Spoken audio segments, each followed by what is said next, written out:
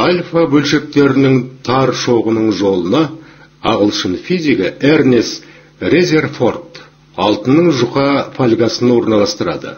Альфа бөлшектері фольга арқылы өте отырып күкіртті мырыш экранға тап болып микроскоптың көмегімен тіркелген жарықтың жарқылын тудырады.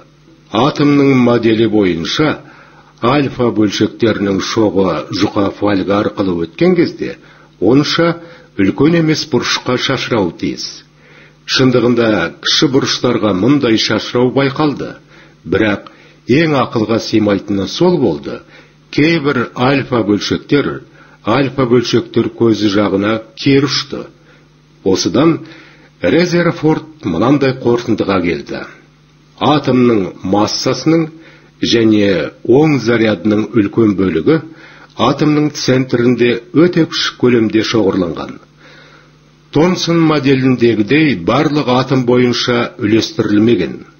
Өз тәжірибелерінің негізінде резерфорд атомның ядролық моделін ұсынды.